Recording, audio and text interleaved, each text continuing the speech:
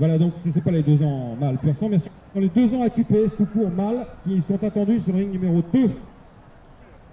Donc euh, à partir du numéro 32.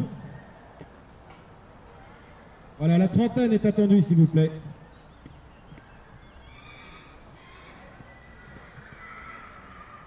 Hop, j'arrive pour le numéro 11.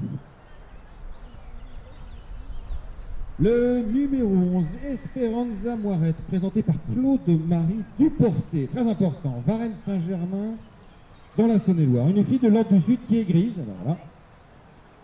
On y reste. Et la mère Emlamis Moirette par Trebrook. On fait marcher donc.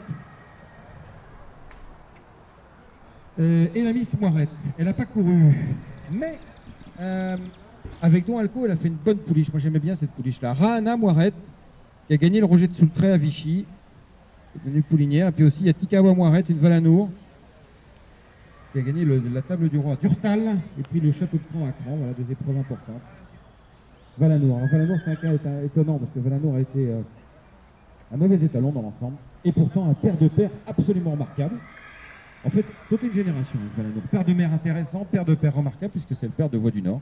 Alors que lui-même dans sa production directe c'était pas terrible.